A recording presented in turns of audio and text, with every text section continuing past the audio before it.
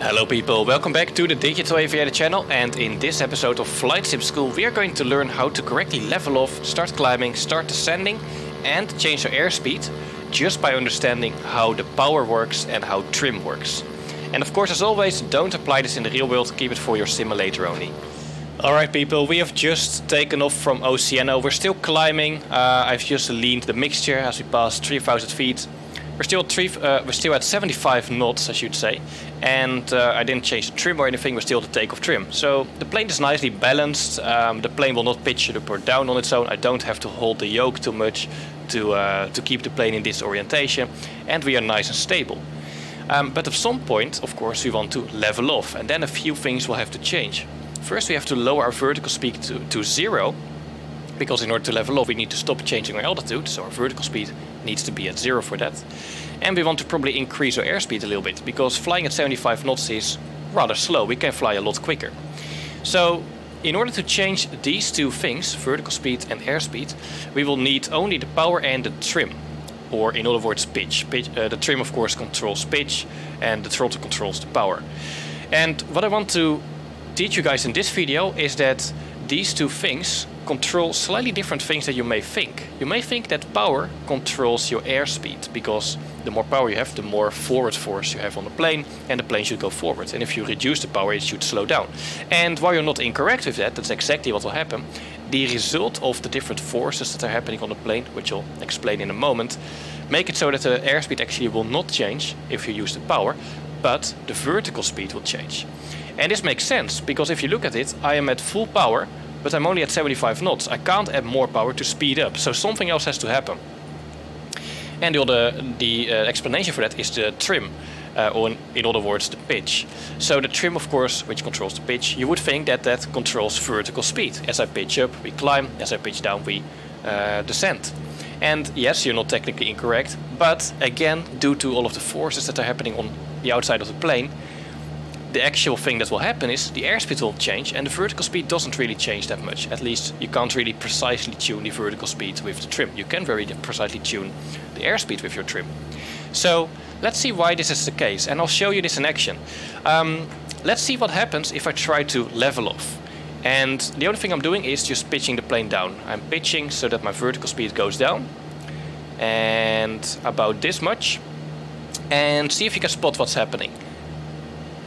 First thing is the airspeed building up. But as the airspeed's building up, look outside, we are now pitching up. So our vertical speed rises and I have to push more on the yoke than I did before in order to keep that vertical speed at zero.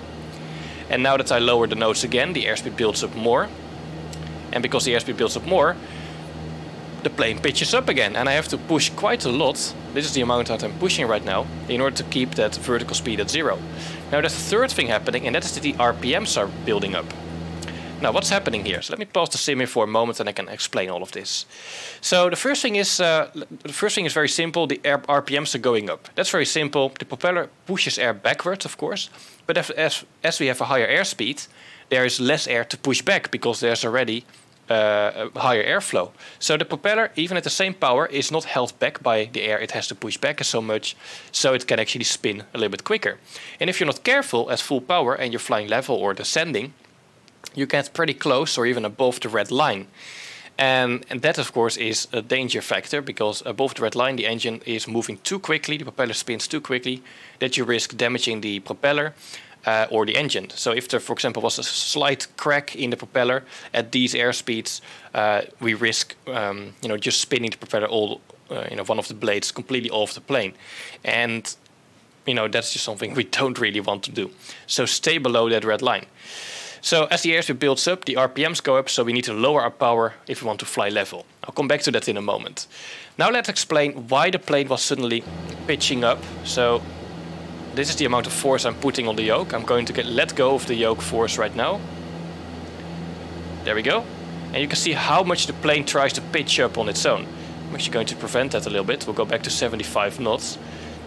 because that's where the plane was actually completely stable. And yeah, we, we can then see that at higher airspeeds the plane tries to pitch up. And the same is actually true for lower airspeeds, but in the opposite direction. If I pitch up more and let the airspeed lo uh, lower a little bit, and I'm letting go of the yoke again, you can see the plane pitches down on its own. So this is actually how the plane is designed to work. Um, the plane will pitch up if you're going too fast, and it will pitch down if you're going too slow. So even if I manually pitch the plane up for a few moments and I forgot about it, we will never let our airspeed go too low unless I really really struggle and manually induce the plane to get at a very low airspeed. But uh, there should be all kinds of danger bells ringing before that. But yeah the plane tries to maintain the airspeed that we have it set up for. And we have it set up by using the trim. We are currently at the takeoff trim setting and the plane is then in an orientation or configuration where it manually sorry automatically pitches up or down to maintain about 70 knots so if I trim the nose down a little bit, and I'll show you that happening, we are pitching down, we actually are letting the airspeed build up. Because I'm letting, I'm kind of changing that natural intention of the plane to pitch up or pitch down. So there's kind of interesting things happening here. So let's pause the sim here for a moment and let's go to the outside and this will make it clear why the plane pitches up or down at different airspeeds and why we need to trim in order to set the natural tendency of the plane to pitch up or pitch down in other words, setting our airspeed. So uh, after I explain this, hopefully it will all be a little bit more clear because it might be a little bit counterintuitive. So let's take a look on the outside and see the front of the plane. Now the Cessna Skyhawk has a high wing uh, is a high wing aircraft. Some wings are in the center of the plane, some some are on the bottom, and this is slightly different for those planes. But you can kind of figure out what will happen to those planes after I explain what's happening here. So imagine the plane is pushing through the air. Of course, air is not just empty space. There is some matter there. If you move your hand through the air, or if you're if you're running, you can definitely feel some kind of force uh, because that's the airflow passing your hand. You know, there's actual matter hitting your hand. So there are some forces applied, and we're actually going quite fast right now. Maybe um, uh, I don't know how fast we're going uh, uh, as a ground speed, but pretty high speed even at 75 knots. So even though the air is very thin, we still have quite a lot of force on our plane. Now, if you look at the front of the plane, you can see that the uh, surface area is not distributed uniformly. We have actually slightly more surface area on top of the plane because that's where our wings are. So the bottom of our plane is getting pushed by the air less than the top. So it would make sense that if our top is getting pushed back more, the plane starts to, at least the top moves backwards and the plane starts to tilt around its center of mass. In other words, it will pitch up. So the faster we go, the larger the difference between the force on top and the bottom is, and the plane will pitch up. If I go slower, and uh, the natural tendency of the plane is to pitch down a little bit, the plane will no longer pitch up due to the airspeed, because the differences in uh, the top of the plane getting pushed back and the bottom are now lower, and the plane will then pitch down. So you can see that with changing the airspeed, we change the amount of force applied on the plane, and that makes the plane pitch up or down. And like I said, we can fight that or correct that with our trim. So let me go back up to the takeoff trim setting. And uh, we'll go back up to 75 knots. And I will show how you can use this knowledge in order to level off. So two things need to happen. We need to lower our vertical speed to zero and we want to increase the airspeed.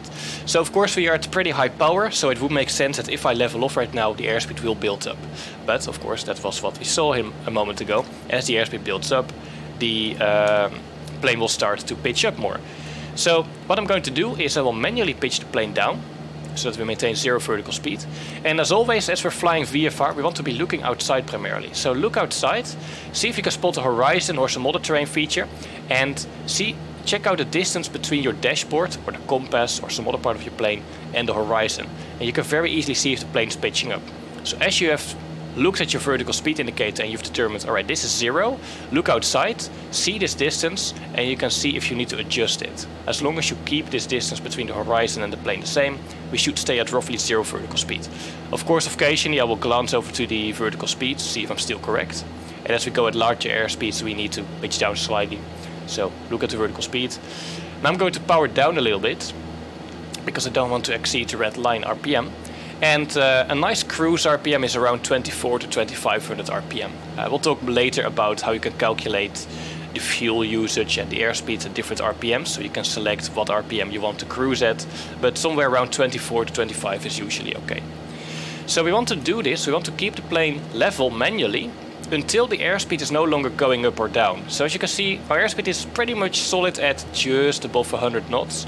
And once that happens, we start to trim. And I'm going to trim the nose down. because I'm pushing the nose down manually, I want to replace my manual pushing force with the pushing force that the trim tab applies on the plane. And again, I'm looking primarily outside. I'm looking to the distance between the dashboard or the plane and the horizon. And I keep trimming until I am no longer touching the yoke.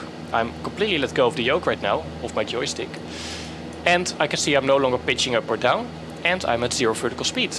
So the steps are hold the pitch manually with the yoke at zero vertical speed, at the altitude where you want to level off, let the airspeed build up, of course adjust the power so that we are in a nice cruise range, 24 to 2500 RPM. And remember that as the airspeed still is building up, the RPM will also build up. And then we do this until the airspeed is no longer going up. And then we start trimming, we replace our manual pressure on the yoke with what the trim does. So now when we look at our actual trim tab, you can actually see that it is now slightly, if I zoom in a little bit, it's only a very little bit, there it is. You can see that the trim tab is now slightly pointed up. So it's kind of like a miniature um, oops, miniature elevator. So what I've did, what I did is I had my elevator, I was using that manually, and I've replaced it with the little trim tab, so that my elevator is completely straight again, but the trim tab is keeping care uh, of what the plane is pitching for. So the intention of the plane is now to have our nose uh, down a little bit. As we build up airspeed, the plane would otherwise pitch up, but we have now forced the plane a little bit nose down to cancel that out and the plane is balanced and neutral and it's not pitching up or down. That is how you want to level off. Now what we did here is change two things, vertical speed and airspeed. But what if we only want to change one of the two? What if I want to stay at, in this case, 105 knots and I want to climb or I want to descend? And the opposite, what if I just want to change my airspeed? What if I want to go a little bit quicker? What if I want to go a little bit slower? Uh, but I don't want to descend or climb. I want to maintain 6,500 feet in this case. Well, we can do that very easily. And like I said, power controls vertical speed, trim controls airspeed. These control the opposite of what you might think. So power, while it does increase the airspeed, as the airspeed changes, the pitch changes. And the only thing that will really change is the vertical speed. And I can prove this to you. Let's lower the power, and because I want to descend, so lower the power a little bit. And initially, yes, of course, the airspeed will go down. But as the airspeed goes down, uh, the top of the plane is getting pushed back less and we are trimmed nose down. So we are pitching down. So we are now descending. And of course, the airspeed drops a little bit, but now it's going back up because we are descending. And as the airspeed uh, is going back up, we are pitching up again. Vertical speed goes a little bit less and we are now pitching up and because I'm pitching up, the plane will slow down again. Now this will oscillate a little bit, so what you want to do is, as you've adjusted the power, just pitch the plane manually so that the airspeed is completely stable at where we started before. So now I'm back at 105 knots. I've pitched the plane to cancel out that oscillation. Airspeed is not changing, so I've pitched to maintain this airspeed here. And as you can see, the only thing I've changed is the power, but the vertical speed is lower, airspeed is still the same. Because as I lowered the power, the airspeed went down, which makes it so that the plane pitched down as we had less force on the top of the wing and we started descending. But as I descended, the airspeed went back up and on average the airspeed stayed the same. And you want to cancel out that oscillation manually with the yoke. You don't touch your trim. As long as you don't touch your trim, the airspeed doesn't change. So if you want to descend or climb or level off without changing airspeed, just use your power. Let's see if, uh, what happens if I add full power now. And I will pitch up a little bit because we don't want the airspeed to build up. So I pitch up no, there's five, uh, 105 knots. So pitch for the airspeed. And uh, we should now be in a climbing orientation as soon as I get my airspeed back to 105. There's 105 knots roughly. And as you can see on my vertical speed, we are slightly climbing. Um, because I'm trimmed quite a lot nose down, we can't really climb that quickly, but you know, we did increase our vertical speed, our airspeed is still the same. Look outside, the plane is not pitching up or pitching down on its own. And if we go back to 24 to 2500 RPM, we should be roughly back at our level orientation. There we go. Still at 105 knots, and our vertical speed is zero. That's how you climb and descend and level off without changing the airspeed. But what if you want to change your airspeed? Well, what we do is, we yes, we do adjust the power, because as you saw, the power does change the airspeed. But what we want to not have is the plane pitch up or down as a result of the changed airspeed. So, let's say I want to lower my airspeed to 80 knots, I will power down. but I'm not letting the plane pitch down. So I'm going to manually start applying a little bit of pitch up force on the yoke. And again, look outside, look at the horizon or a mountain ridge or a forest, whatever it is, and see if you know, see if the distance changes with your dashboard, see if you're pitching up or pitching down. We want to maintain that. Keep your vertical speed at where you had it before. Now I'm reaching 80 knots, I'm adding a little bit of power again so that we don't slow down more. And now I'm going to replace my, uh, whoops, my manual pushing force with the trim. So I'm pushing the nose uh, up, so I'm going to trim the nose up in this direction and replacing my manual force with the force that the trim tab applies. And we do this again until I never, uh, until I no longer have to hold the yoke. And we are at 80 knots and we are at the same vertical speed. So the vertical speed hasn't changed, we haven't climbed or descended, but I did change my airspeed. So let's recap this. If you want to level off or climb, adjust the power and then pitch so that you maintain the airspeed before you started adjusting the power. If you want to slow down or speed up without climbing or descending, we lower the power or add power to slow down or speed up. But we then fight the intention of the plane to pitch up or pitch down and we pitch so that we maintain the same vertical speed. And then I replace my manual force with the trim. Or we can do all of that at the same time. Let's say I want to descend but at 100 knots. So I will manually pitch the plane down. I add a little bit of power maybe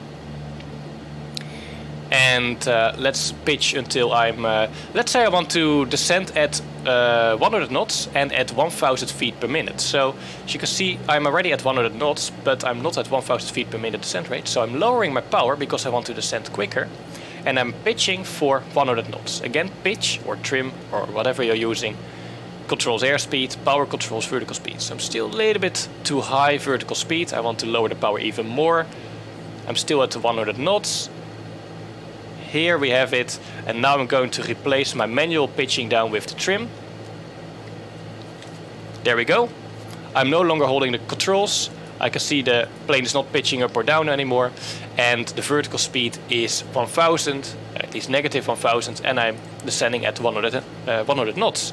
So you can also do both at the same time. As long as you remember that adding or uh, releasing power lowers or, uh, or decreases the air, uh, sorry, the vertical speed. And remember that pitching, which you set manually or with the trim, sets your airspeed. So power is for vertical speed, trim is for airspeed.